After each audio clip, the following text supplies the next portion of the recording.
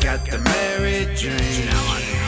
We are aliens, traveling through time.